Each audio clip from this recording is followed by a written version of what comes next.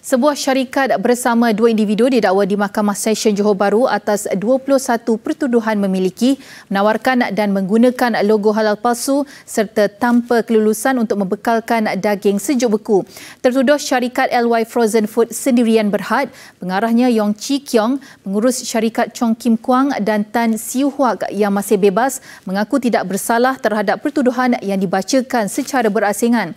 Mengikut kertas pertuduhan, syarikat dan tiga individu berkenaan Kementerian didakwa menggunakan memiliki dan menawarkan 3,418 kotak makanan sejuk beku yang menggunakan perihal dagangan palsu tanpa kelulusan dua syarikat pembekal dari Australia.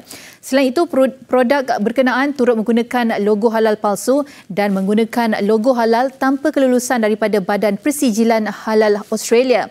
Mereka didakwa mengikut Seksyen 5 Kurungan 1A, Seksyen 5 Kurungan 1C Akta Perihal Dagangan 2011, Perenggan 4 Kurungan 1 Perintah Perihal Dagangan, Perakuan dan Penandaan Halal 2011. Sebutan semula kes ditetapkan pada 28 Mac ini.